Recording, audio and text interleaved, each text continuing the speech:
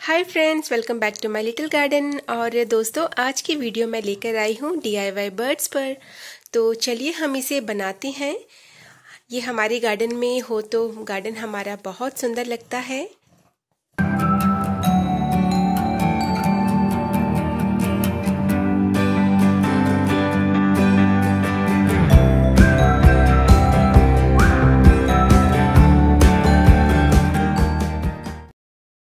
और फ्रेंड्स ये आ गया है मेरा क्ले जिससे मैं आज बर्ड्स बनाऊँगी। तो ये क्ले मुझे आ, मैंने ऑनलाइन लिया है। आ, ये एयर हार्डनिंग होता है। इसे धूप में रखने की ज़रूरत नहीं होती है। ये हवा में ही सूख जाता है। तो ये है 500 ग्राम का। तो और ये मिला है मुझे थ्री हंड्रेड रुपीज़ में। और 250 ग्राम में भी ये वैसे आता है। आप देख सकते हैं इस पर लिखा है एयर हार्डनिंग मॉडलिंग क्ले इससे हर एक छोटी छोटी चीज़ें जो भी हम बनाना चाहते हैं, वो बहुत अच्छे से उसकी डिटेलिंग हम कर पाते हैं। ये वैसे तो हमारे लोकल मार्केट में मुझे नहीं मिला, पर हो सकता है कहीं आपको मिल जाए तो आप इसका यूज़ करिए अगर आपको ये ना मिले, आप इसे नहीं लेना चाहते हैं तो आप फेविक्रिल का शिल्पकार क्ले भी ले सकते हैं। उसके अलावा आप अगर एक या दो ही बर्ड बनाना चाहते हैं तो आप एम सील भी लेकर बना सकते हैं। वो भी बिल्कुल सीमेंटेड हार्ड होती है। तो ये भी बिल्कुल वैसा ही होगा। तो चलिए हम इसे खोल लेते हैं अब। और अब मैंने इसे पैक से बाहर निकाल लिया है। ये बहुत सॉफ्ट है। बिल्कुल डो की तरह जैसे आटा हो। तो अभी मैं एक एक करके आपको इसके बॉडी पार्ट्स बनाना बता देती हूँ। बहुत ही सिंपल वे में। सबसे पहले मैं बनाऊँगी उसके विंग्स जो चिड़िया के जो पंख होते हैं। देखिए आप किस तरह से बिल्कुल राउंड शेप दिया है मैंने। आप अपने हिसाब से बड़ी चिड़िया भी बना सकते हैं, छोटी भी बना सकते हैं। सबसे अच्छा बहुत बढ़िया ये क्ले है। तो बिल्कुल राउंड शेप में देखिए, बनाने के बाद मैंने इसे दो दो पार्ट में कर दिया है। ये है उसके विंग्स और नेक्स्ट जो मैं बनाऊँगी, ये है चिड़िया की जो उसका जो बॉडी है, वो बनाऊँगी। जब आप बॉडी बनाएँगे तो वो हेड से थोड़ा सा बड़ा रखें। सभी को बिल्कुल राउंड शेप में रखना है। ये बहुत सिंपल इजी वे में बता रही हूँ आपको मैं। और ये जो छोटी सी है, ये उसका मैं बनाऊँगी हेड बस सिंपल सा हाथ से राउंड करेंगे हम। और ये जो हमारे हाथों में जितने भी ये चिपक गए हैं, ये बहुत आसानी से निकल भी जाते हैं। और ये बनाऊँगी उसकी मैं बिक यानी कि उसकी चोंच अपने बर्ड्स के, बहुत छोटा सा लेकर बस उसे पॉइंट करना है आगे से देखिए। ये आ गया है उसका बिक और ये बनाऊँगी अब मैं टेल, जो हम इसकी जो चोंच बना रहे हैं, उससे बस थोड़ी सी ज़्यादा लंबी रखेंगे उसकी टेल को। तो हो गया है ये। बॉडी पार्ट्स बनकर बिल्कुल रेडी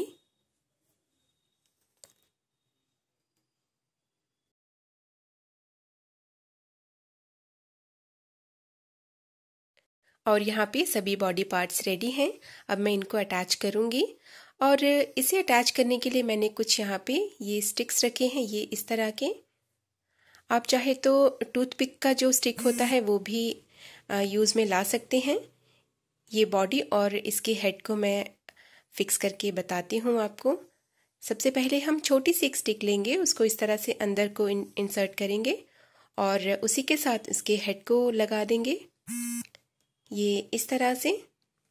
अगर हम इसमें स्टिक्स यूज़ करेंगे तो इसके अलग होने का डर नहीं रहेगा। इसके बिना भी बिना भी आप अटैच कर सकते हैं। ये बहुत सॉफ्ट होते हैं ये बहुत अच्छे से एक दूसरे में स्टिक हो जाते हैं। और ये मैंने लगा दिया है इसके टेल को। टेल थोड़ी सी नीचे की साइड रखें, उसके हेड हेड को ज़रा अप साइड रखें, ज़रा ऊपर की तरफ़ उठा कर रखें। और अब हम इसकी चोंच जो है वो भी इसके साथ अटैच कर लेते हैं। आप चाहे तो इस तरह के स्टिक्स का यूज़ ना भी करें, ये बहुत इजीली एक दूसरे से स्टिक हो जाते हैं।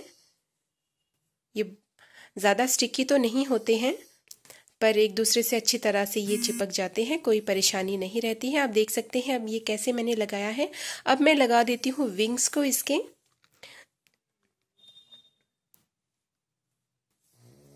ज़्यादा ये चिड़िया ना ज़्यादा बड़ी है, ना छोटी है। बहुत मीडियम साइज़ का मैंने बनाया है। तो दोनों तरफ़ से मैं स्टिक्स लगा रही हूँ इसे। ये बहुत अच्छे से सभी पार्ट्स को होल्ड करके रखेगा। तो फ्रेंड्स इसे अच्छी तरह से 24 घंटे के लिए इसे सूखने रह, रखने रख दीजिएगा आप। ये बाद में बिल्कुल सीमेंटेड हार्ड हो जाएगा।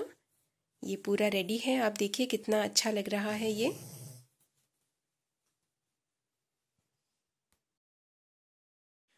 और आप इसकी टेल देखिए। ये ज़रा मैंने फ्लैट और राउंड रखी है। और जो विंग्स हैं विंग्स के सामने जो राउंड शेप है, वो बिल्कुल सामने की तरफ़ रखें और नीचे की तरफ़ में होल बनाना बहुत ज़रूरी है।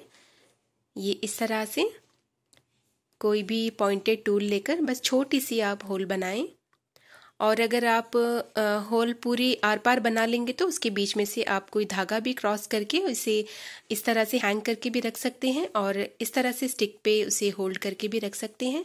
मैंने इसी तरह से सभी अपने जो पॉट में रखे हैं, ऐसे ही रखा हुआ है। तो एक एक करके अपने सभी बर्ड्स में इस तरह से होल बनाना ज़रूर याद रखें। और ध्यान रखें कि जो हमारी विंग्स हैं। मैंने विंग्स आपको बहुत ही सिंपल तरीका बताया है। बस उसे गोल सा बना के बस दो पार्ट में कर लीजिएगा आप। और जो उसकी टेल है, वो किसी में पॉइंटेड रखिए, किसी में फ्लैट रखिए अलग अलग तरीके से।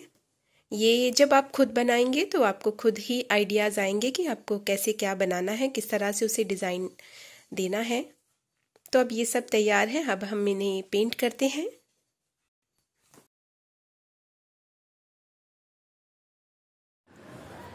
यहाँ पर मैं ब्लू करके ब्लू कलर कर रही हूँ। आप अपनी ही चॉइस का कोई भी हम कलर कर सकते हैं। हर कलर इन पर बहुत अच्छे लगते हैं। और इनके विंग्स पर आप चाहे डॉट डालिए या फिर कोई डिज़ाइन बनाएँ। मैं बहुत सिंपल करूँगी।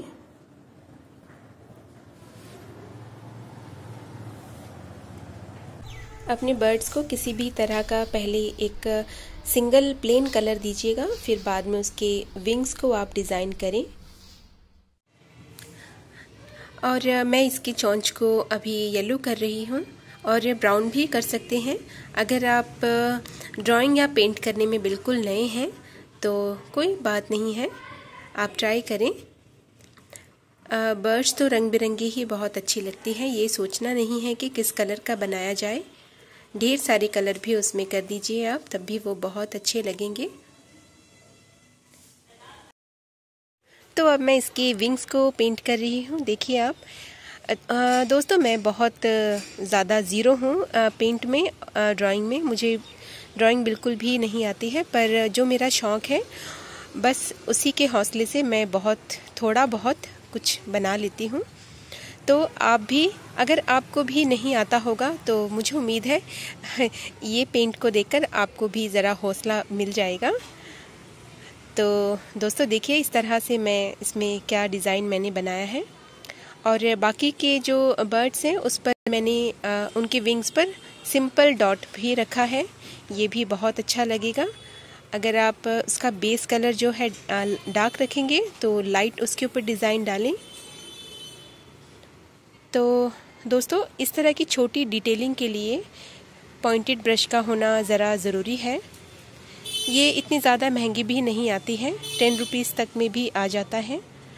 तो अगर आप पेंट बनाएँ पेंट करें अप, किसी भी चीज़ पर तो दो ब्रश ज़रूर अपने पास रखें। एक तो फ्लैट ब्रश और एक इस तरह का पॉइंटेड आजकल स्कूल के सभी बच्चों को इस तरह के ब्रशेस बहुत ज़रूरी होते हैं तो अगर घर में छोटे बच्चे हैं तो उनसे भी आप ले सकते हैं।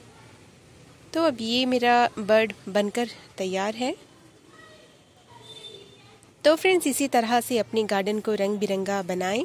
फूल ना भी हो तो छोटी छोटी इस तरह की चीज़ें वहाँ रखें। मेरे काफ़ी सारे जो यूट्यूब में मेरे व्यूवर्स हैं मेरे सब्सक्राइबर्स हैं वो मुझे कुछ ना कुछ पूछते हैं कि आ, कोई प्लांटर है ये आपने कहाँ से लिया है?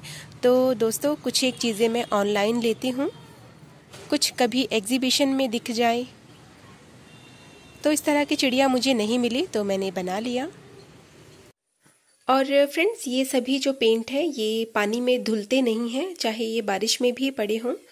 अगर आपको कोई डाउट है पेंट को लेकर कि पानी में घुल जाएगा, धुल जाएगा तो आप थोड़ा सा फेविकोल इसमें मिक्स कर सकते हैं। ये जो एक्रिलिक पेंट होते हैं, ये बहुत स्टेबल होता है।